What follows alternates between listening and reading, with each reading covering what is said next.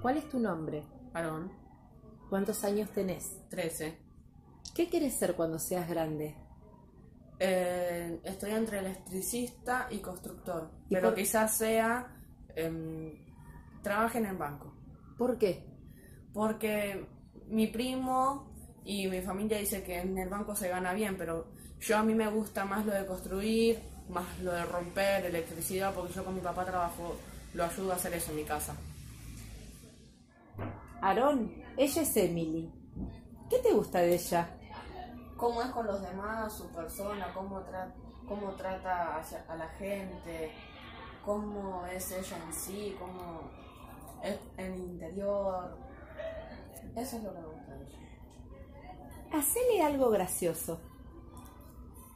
¿Cómo? No sé, no sé, no sé. Bueno, hacele entonces una caricia. Ahora, dale una cachetada. Más fuerte. Dale, ¿por qué no? Porque no quiero, es una mujer y no la voy a tratar así.